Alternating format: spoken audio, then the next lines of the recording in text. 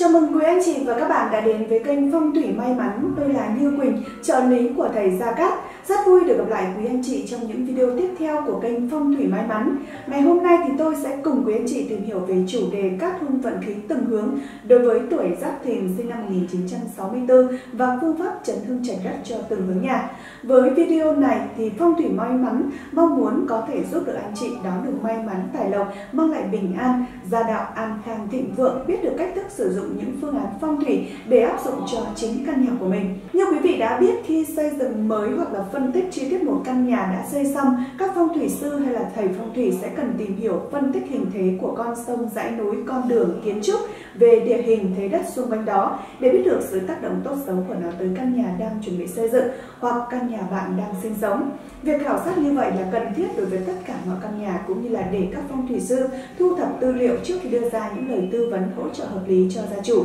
Đối với những trường phái khác nhau, sẽ có những cách phân tích khác nhau, nhưng vô hình chung sẽ cần tuân theo những quy chuẩn chung trong phong thủy, gọi là các thế sát loan đầu. Ngoài các nguyên tắc chung về hình thế loan đầu thì sẽ còn một phần khác cần xét tới khi các phong thủy sư phân tích cách cục căn nhà của bạn, đó là phần lý khí. Khí trong phong thủy là cốt lõi nguyên lý và hoạt động của vạn vật, bởi khí là nguyên bản của vạn vật, bởi khí thông thường là một loại vật chất vô cùng nhỏ bé, là nguồn gốc cấu thành vạn vật trên thế giới. Theo như cách giải thích của các nhà tư tưởng duy vật cổ đại, không gian vũ trụ có khí trước rồi mới có vạn vật. Vương Dung thời Đông Hán trong cuốn sách luận hành tự nhiên thiên có viết rằng thiên địa hợp khí, vạn vật tự sinh, trời đất hợp khí, vạn vật tự sinh. Trong sách Tế Thế Thiên lại viết vạn vật chi sinh câu đạt nhất khí, khí chi bạc ác vạn vật nhược nhất, Vạn vật được sinh ra chỉ cùng từ một thể khí, các thầy sẽ dựa vào lý thuyết âm dương ngũ hành, bát quái tinh tượng làm cơ sở luận đoán, đưa ra ý kiến của mình về thông tin trạch đất của mình. Khi kết hợp với cả hai thông tin trên thì các phong thủy sư sẽ đưa ra thông tin chính xác nhất về đạch đất nhà bạn cũng như là đưa ra các phương án hỗ trợ tốt nhất về phương án xây dựng cũng như tu tạo sửa chữa cho căn nhà của bạn. Đối với những căn nhà có thông tin xấu phải chịu các xung giác xung quanh, các hướng nhà không hợp với tuổi của gia chủ sẽ cần có phương án chấn hương trạch đất hay còn gọi là chấn trạch hợp lý để phù long tương chủ, giữ vững chân long đảm bảo cho căn nhà được bảo hộ. Đồng thời giúp những thành viên sống trong căn nhà đó có được sức khỏe an lành, gặp thuận lợi trong công việc, học tập và đời sống hàng ngày, gia đạo an lành, thịnh vượng, phát triển hơn. Sau đây sẽ là chia sẻ của thầy Gia Cát và các thầy trong Hiệp hội Phong thủy Tâm linh Việt về vấn đề chấn chạch cho các căn nhà đã và đang xây dựng hoặc đã tiến hành vào ở cho gia chủ tuổi Giáp Thìn sinh năm 1964. Đối với nam mạng Giáp Thìn sinh năm 1964 là cung ly hỏa, xét theo cung mệnh thuộc đông tứ mệnh vì vậy sẽ hợp với bốn hướng tốt đó là nam phục vị, đông nam thiên y, bắc diên niên, đông sinh khí. Ngoài ra sẽ cần tránh bốn hướng xấu đó là đông bắc hỏa hại, tây bắc tuyệt mệnh, tây nam lục sát, tây ngũ quỷ. Sau đây chúng ta sẽ cùng đi vào chi tiết về 8 hướng kết hợp với gia chủ Giáp Thìn sinh năm 1964 để có phương án hóa giải hợp lý cho từng hướng nhà. Hướng Đông Bắc gồm Ba Sơn, Sửu, Cấn, Dần có giải độ số theo La Kinh từ 2,5 đến 67,5 độ. Tuổi Giáp Thìn sinh năm 1964 nam bạn xây nhà hoặc ở trong những căn nhà hướng này phạm họa hại thuộc Tây Tứ Trạch nên không hợp hướng mà họa hại là sao lộc tổn thuộc thổ hướng Tây Nam tượng quái là khôn, chủ vì tổn thương cơ thể suy yếu dễ nản trí cô độc nghèo khổ nên xấu vô cùng. Nếu vì lý do nào đó gia chủ vẫn quyết định xây dựng, sửa chữa và ở trong nhà này thì phải chọn cách hóa giải đó là chấn trạch trước khi xây nhà để làm vững chân long, gia chung hòa hợp tăng cường sức khỏe. Được sự hỗ trợ và tư vấn của thầy Gia Cát cùng các thầy trong Hiệp hội Phong thủy và tâm linh Việt, hôm nay Phong thủy may mắn sẽ đưa ra các phương án hóa giải đối với hướng nhà này như sau. Phương án thứ nhất, nếu có điều kiện nên bán đi, mua ở nơi khác cất lành hợp hướng với mình hơn. Kèm với đó là sự bố trí sắp xếp hợp lý về cả phong thủy và kiến trúc sẽ khiến cho gia đình hưng thịnh, gia đạo yên vui.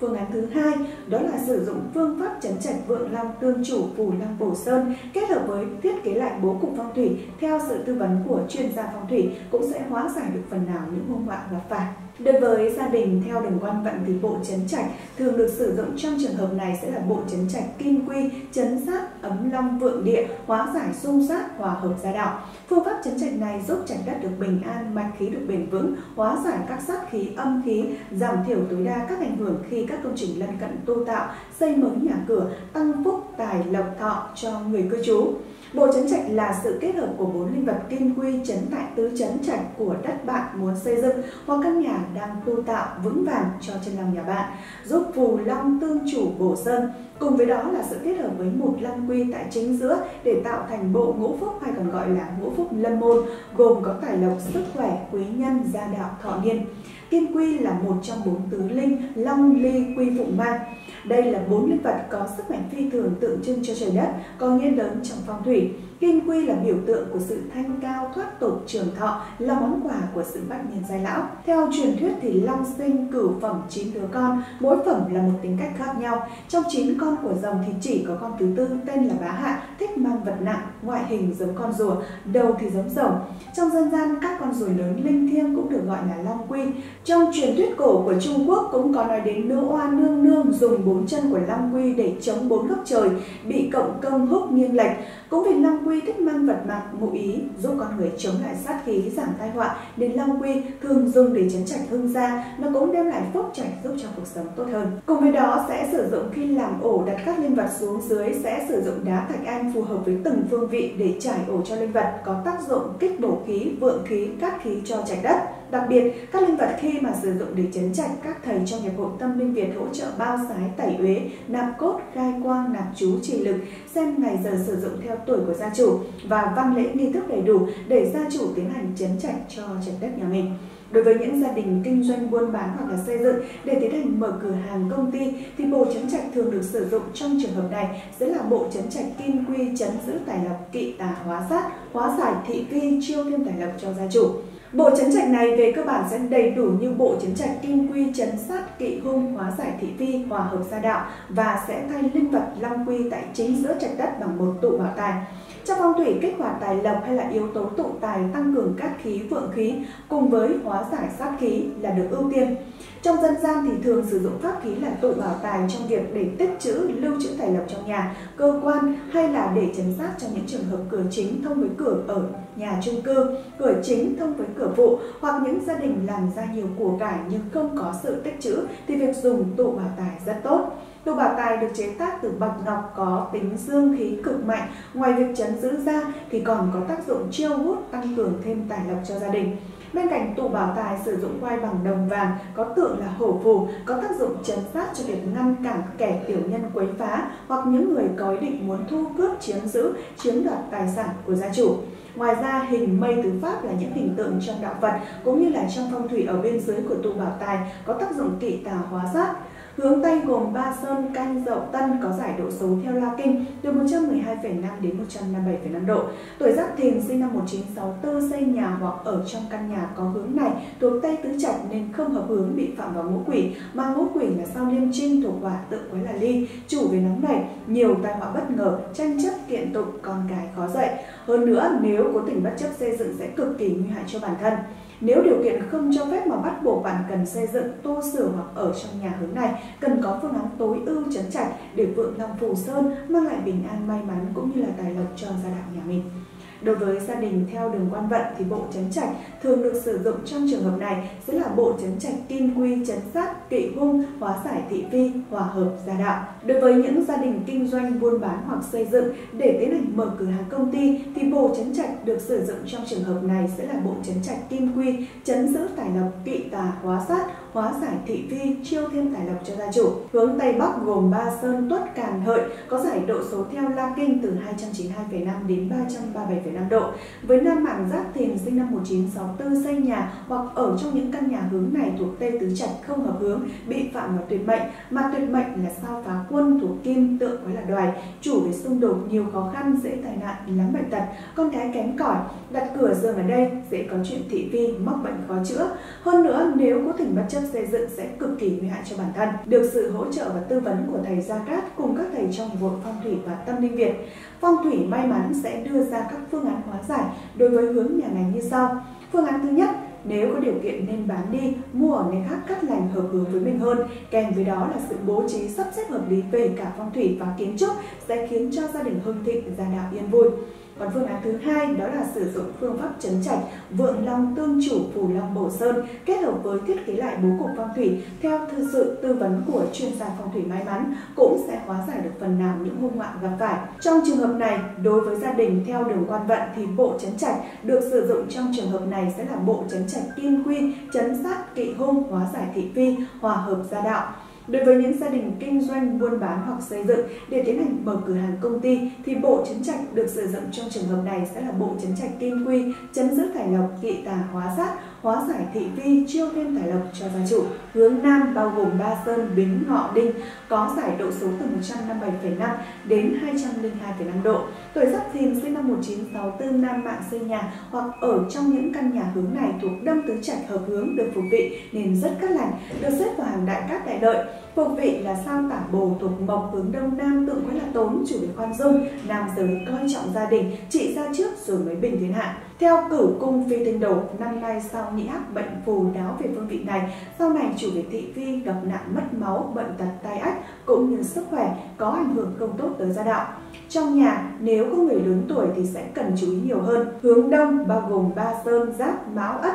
có giải độ số theo La Kinh từ 67,5 đến 112,5 độ.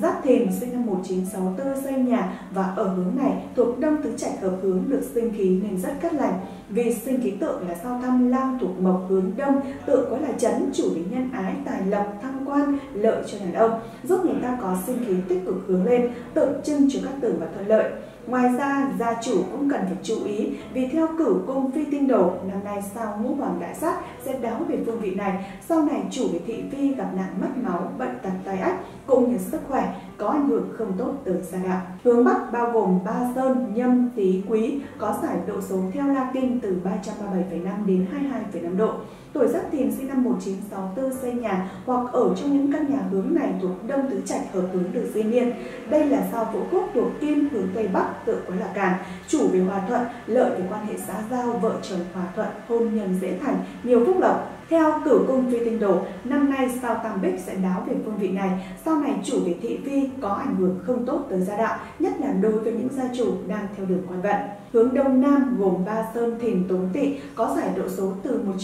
112,5 đến 157,5 độ. Tuổi Giáp Thìn sinh năm 1964 xây nhà hoặc ở trong những căn nhà hướng này thuộc Đông Tứ Trạch hợp hướng được thiên y, thuộc sao cự môn thổ, hướng đông bắc tượng quái là cấn, chủ về sức khỏe, vượng tài phát lộc, lợi cho phụ nữ, tính cách khoan dung nhường nhịn, dễ được quý nhân giúp đỡ. Do bốn hướng nhà này hợp với tuổi của trạch chủ nên theo lưu niên từng năm khi có các sao tốt đáo tới thì sẽ tốt, cát lành, bình an, phát triển thuận lợi, nhanh chóng. Nếu những hướng này xấu thì hợp với cái xấu khiến cho gia đạo không bình an, hung họa khôn lường, nhẹ thì phị phi bùa vây, nặng thì sẽ gặp nạn mất máu, tổn thất nhân đinh. Vì vậy, với những hướng nhà hợp với tuổi của gia chủ, thầy Gia Cát và các thầy trong Hiệp hội Phong thủy Tâm linh Việt đưa ra phương án tối ưu cho gia chủ là sẽ sử dụng bộ chấn trạch hoa mai chấn sát kỵ tà chiêu tài đạp phúc. Bộ chấn trạch này sẽ tiến hành chấn trạch sau khi đổ móng và chuẩn bị lên cột ở dưới chân của các cột trụ lớn trong căn nhà đang xây dựng. Kết hợp với đó sẽ là sử dụng thêm phần gạo vàng thần tài để trải ổ cho hoa mai sẽ tạo thành trận đồ bao bọc xung quanh căn nhà của mình, có tác dụng chấn sát, kỵ tà, hóa giải thị phi, chiêu cắt khí, vượng khí cho căn nhà của bạn. Từ xa xưa, hoa mai là biểu tượng cho ngày Tết, biểu trưng cho sự ấm no, hạnh phúc, viên mãn tràn đầy của gia đình người Việt. Được chế tác từ đồng đỏ nguyên chất và mạ 18 k bên ngoài, đã được sự hỗ trợ của thầy Gia Cát và các thầy trong nghiệp hội Phong thủy và Tâm linh Việt hỗ trợ, bao sái, tẩy uế, nạp cốt, khai quang, nạp chú, chỉ lực, xem ngày giờ sử dụng theo tuổi của gia chủ để vật phẩm mang trong mình phần linh lực mạnh mẽ. Đồng tiền hoa mai hay còn gọi là hoa mai kim tiền có công dụng rất phổ biến là giải trừ tiểu nhân chấn thị vi. Ngoài ra tiền hoa mai còn mang một số ý nghĩa đặc biệt. Mai hoa kim tiền là đồng tiền bằng đồng hình mai hoa năm cánh, một mặt chạm ngũ tự gồm thọ, sống lâu, mệnh, số mạng, phú, giàu có, quý, thăng tiến và trường là lâu dài trên mỗi cánh hoa. Mặt hình đĩnh tiền vàng tượng trưng cho mong cầu vinh hoa phú quý, tài lộc sum vầy, gia đạo bình an. Con rơi trong phong thủy được gọi là phúc tinh, tượng trưng mong cầu về phúc phần cho gia đạo, giúp gia đạo an khang, gia đình hạnh phúc.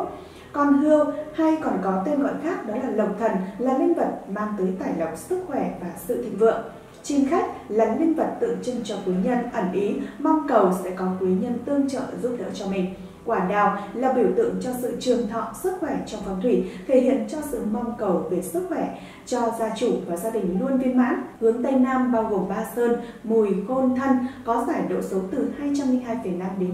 247,5 độ. Người tuổi Giáp Thìn sinh năm 1964 xây nhà hoặc ở trong những căn nhà hướng này thuộc Tây Tứ Trạch không hợp hướng phạm lục sát, mà lục sát là sao văn khúc thuộc thủy, tượng quái là khảm, chủ về thị phi khiến tâm lý luôn rơi vào trạng thái rối loạn, luôn thấy bất an, không tập trung vào công việc, khiến tài vận đi xuống. Nếu kết hợp với phần hình thế loan đầu xung quanh căn nhà kém hoặc xấu sẽ dẫn tới nguy hại với những người sinh sống làm việc trong căn nhà đó. Nhất là những gia chủ đang theo đường quan vận thì sẽ càng cần đặc biệt chú ý. Nếu muốn xây dựng, tu tạo hay đang sinh hoạt trong những căn nhà hướng này, cần hết sức lưu ý đề phòng. Nếu vì lý do nào đó, gia chủ vẫn quyết định xây dựng, sửa chữa và ở trong nhà này thì phải chọn cách hóa giải đó là chấn chỉnh trước khi xây nhà để làm vững chân long gia chung hòa hợp, tăng cường sức khỏe. Được sự hỗ trợ và tư vấn của thầy Gia Cát cùng các thầy trong Hiệp hội Phong thủy và Tâm Linh Việt, Phong thủy may mắn sẽ đưa ra các phương án hóa giải đối với hướng nhà này như sau. Phương án thứ nhất, nếu có điều kiện nên bán đi, mua ở nơi khác cất lành hợp hướng với mình hơn. Kèm với đó là sự bố trí sắp xếp hợp lý cả về phong thủy và kiến trúc sẽ khiến cho gia đình hương thịnh, gia đạo yên vui.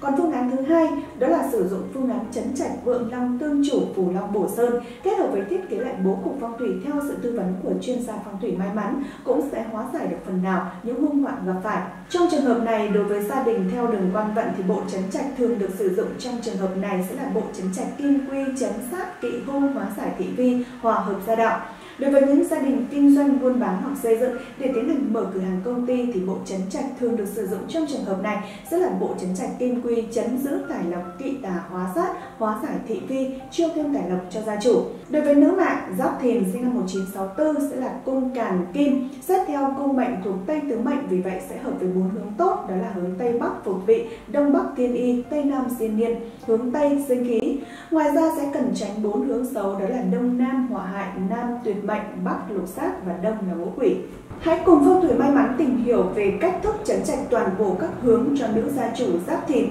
sinh năm 1964. Đầu tiên là hướng đông gồm 3 sơn giáp mão ất có giải độ số theo la kinh từ 67,5 đến 112,5 độ. Nữ mệnh giáp thìn sinh năm 1964 xây nhà hoặc ở trong những căn nhà hướng này thuộc đông tứ trạch nên không hợp hướng và ngũ quỷ mà ngũ quỷ là sao liêm trinh thuộc hỏa tượng với là ly chủ về nóng nảy nhiều tai họa bất ngờ tranh chấp kiện tụng con cái khó dạy nếu kết hợp với phần hình thế loan đầu xung quanh căn nhà kém hoặc xấu sẽ dẫn tới nguy hại với những người sinh sống làm việc trong căn nhà đó. Hơn nữa nếu xây dựng hoặc tu tạo bất chất sẽ cực kỳ nguy hại cho bản thân. Cùng với đó theo huyền không vi tinh năm nay, sao ngũ hoàng là một trong những hung linh lớn chủ thị phi tai nạn đổ máu bệnh tật tai ách cũng như là sức khỏe có ảnh hưởng không tốt tới gia đạo. Về hướng đông nam bao gồm ba sơn thìn tốn tỵ có giải độ số từ 112,5 đến 157,5 độ. Tuổi giáp thìn sinh năm 1964 nữ mạnh xây nhà và ở hướng này sẽ thuộc đông tứ trạch không hợp hướng phạm họa hại mà họa hại là sao lộc tồn thuộc thổ,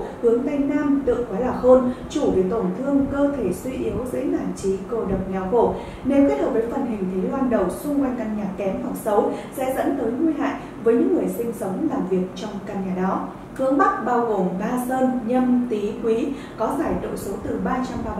đến 22,5 độ. Tuổi Giáp Thìn sinh năm 1964 nữ mạng xây nhà hoặc ở trong những căn nhà hướng này thuộc Đông Tứ Trạch không hợp hướng phạm lục sát mà lục sát là sao văn khúc thuộc thủy, tự quái là khảm, chủ về thị phi, tâm lý rối loạn, luôn thấy bất an, không tập trung vào công việc, tài vận đi xuống. Nếu kết hợp với phần hình thế loan đầu xung quanh căn nhà hoặc bố trí phong thủy trong nhà không được đắp, phạm phải nhiều phần nội giáp hoặc xấu sẽ dẫn tới nguy hại với những người sinh sống làm việc trong căn nhà đó. Cùng với đó, theo huyền không phi tinh năm nay, do tam bích chủ về kiện tụng, thị phi, tranh chấp, trộm cướp sẽ đáo tới phương này nên sẽ cần đặc biệt chú ý. Nếu kết hợp với phần hình thế loan đầu xung quanh căn nhà kém hoặc xấu sẽ dẫn tới nguy hại với những người sinh sống làm việc trong căn nhà đó hướng Nam bao gồm Ba Sơn, Bính, Ngọ, Đinh có giải độ số theo La Kinh từ 157,5 đến 202,5 độ. Nếu mệnh tuổi Giáp Thìn sinh năm 1964 xây nhà hoặc sinh hoạt trong căn nhà hướng này thuộc đông tứ trạch không hợp hướng phạm tuyệt mệnh mà tuyệt mệnh là so phá quân thuộc kim tượng quái là đoài chủ về xung đột nhiều khó khăn dễ tai nạn lắm bệnh tật con cái kém cỏi đặt cửa giường ở đây dễ có chuyện thị phi mắc bệnh khó chữa nếu kết hợp với phần hình thế loan đầu xung quanh căn nhà hoặc bố trí phong thủy trong nhà không được đắp phạm phải nhiều phần độ sát hoặc xấu sẽ dẫn tới nguy hại với những người sinh sống làm việc trong căn nhà đó Cùng với đó theo huyền không phi tinh năm nay, sau nhị hắc bệnh phù đang thất lệnh chủ về bệnh tật tai ách cũng như sức khỏe có ảnh hưởng không tốt tới gia đạo. Nếu xây dựng hoặc tu tạo bất chấp sẽ cực kỳ nguy hại cho bản thân với sự hỗ trợ và tư vấn của thầy Gia Cát cùng các thầy trong Hiệp hội Phong thủy và Tâm linh Việt. Phong thủy may mắn sẽ đưa ra các phương án tối ưu nhất đối với bốn hướng nhà, ngũ quỷ, họa hại, lục sát và tuyệt mệnh này sẽ như sau. Phương án thứ nhất, nếu có điều kiện nên bán đi, mua ở nơi khác cắt lành hợp hướng với mình hơn, kèm với đó là sự bố trí sắp xếp hợp lý cả về phong thủy và kiến trúc sẽ khiến cho gia đình hưng thịnh, gia đạo yên vui. Phương án thứ hai đó là sử dụng phương pháp chấn chỉnh vượng long tương chủ phủ long cổ sơn kết hợp với thiết kế lại bố cục phong thủy theo sự tư vấn của chuyên gia phong thủy may mắn cũng sẽ hóa giải được phần nào những hung họa gặp phải.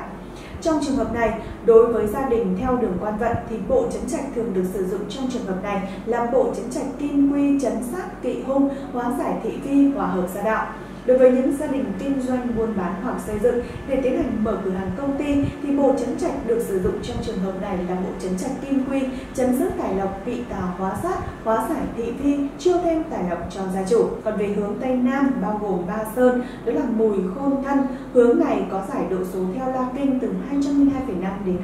247,5 độ với nữ mạng Giáp Thìn sinh năm 1964 xây nhà hoặc ở trong những căn nhà hướng này thuộc Tây Tứ Mệnh nên hợp hướng với tuổi của gia chủ thuộc cung diên niên. Đây là sao vũ quốc thuộc Kim hướng Tây Bắc tự với là càn, chủ về hòa thuận, lợi về quan hệ xã giao, vợ chồng hòa thuận, hôn nhân dễ thành, nhiều phúc lộc. Sao vũ khúc còn mang đặc tính của sao văn xương sẽ rất tốt nếu gia chủ kích hoạt được. Hướng Đông Bắc sẽ bao gồm ba sơn đó là Sửu Cấn Dần. Hướng này có giải độ số theo La Kinh từ 22,5 đến 67,5 độ. nữ mệnh tuổi Giáp Thìn sinh năm 1964 xây nhà hoặc ở trong những căn nhà hướng này thuộc Tây Tứ Mệnh nên hợp hướng với tuổi của trạch chủ được Thiên Y, mà Thiên Y thuộc sao Cự Môn Thổ, hướng Đông Bắc tự với là Cấn, chủ về sức khỏe, vượng tài phát lộc, lợi cho phụ nữ, tính cách quan dung nhường nhị, dễ được quý nhân giúp đỡ. Hướng Đông Nam bao gồm ba sơn, Thìn, tốn Tỵ có giải độ số theo La Kinh từ 112,5 đến 157,5 độ. Người tuổi Giáp Thìn sinh năm 1964 xây nhà hoặc ở trong những căn nhà hướng này thuộc Tây Tứ Mệnh hợp hướng với tuổi của trạch chủ được phục vị mà phục vị là sao tả bổ thuộc mộc hướng Đông Nam tự với là tốn chủ về khoan dung nam giới coi trọng gia đình trị ra trước rồi mới bình thiên hạ hướng Tây sẽ bao gồm ba sơn canh dậu tân có giải độ số theo la kinh từ 247,5 đến 292,5 độ. Tuổi Giáp Thìn sinh năm 1964 nữ mạng ở trong nhà hướng này thuộc Tây Tứ Mệnh nên hợp hướng với tuổi của trạch chủ được sinh khí. Vì sinh khí tượng là sao tham lam thuộc mộc hướng đông tượng quái là chấn chủ về nhân ái tài lộc thăng quan lợi cho đàn ông. Giúp người ta có sinh khí tích cực hướng lên tượng trưng cho các tường và thuận lợi. Nếu học không vào khó thành tài gia cảnh xa sút đặt cửa bàn học dương ngủ tại sinh khí sẽ hóa giải. Do bốn hướng nhà này hợp với tuổi của trạch chủ nên theo lưu niên từng năm, khi có các sao tốt đáo tới thì sẽ tốt, cát lành, bình an, phát triển thuận lợi, nhanh chóng.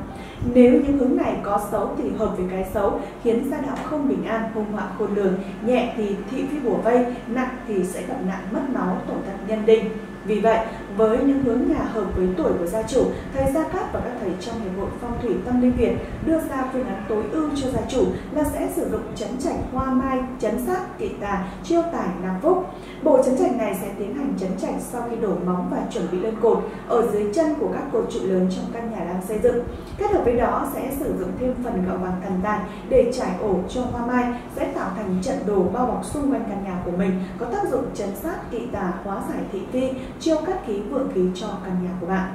Vừa rồi thì phong thủy may mắn đã phân tích các hung vận khí từng hướng đối với tuổi Giáp Thìn sinh năm 1964 và phương pháp chấn hương chặt đất cho từng hướng nhà. Để được hỗ trợ chi tiết hơn về vấn đề trạch cát, sử dụng phù hợp cho từng tuổi và những dự định công việc của quý anh chị thực hiện như động thổ, tu tạo, sửa chữa, xem ngày cưới hỏi cũng như những vấn đề liên quan tới phong thủy. Quý anh chị hãy liên hệ ngay đến số hotline của chúng tôi. Thầy Gia Cát cùng đội ngũ trợ lý của thầy sẽ hỗ trợ tư vấn cho quý anh chị nhanh nhất. Quý anh chị đừng ngần ngại bày tỏ quan điểm và cảm xúc của mình ở phần dưới ô bình luận. Hãy đưa ra những ý kiến đóng góp giúp chương trình ngày một hoàn thiện hơn để đưa đến quý vị và các bạn những kiến thức chuẩn chỉ về phong thủy chính tâm môn phái. Đừng quên đăng ký kênh để cập nhật những kiến thức mới nhất về tử vi phong thủy, ứng dụng vào cuộc sống hàng ngày. Cảm ơn quý anh chị đã quan tâm theo dõi và ủng hộ chương trình trong suốt thời gian qua. Chúc quý vị và các bạn gặp nhiều may mắn thành công trong cuộc sống.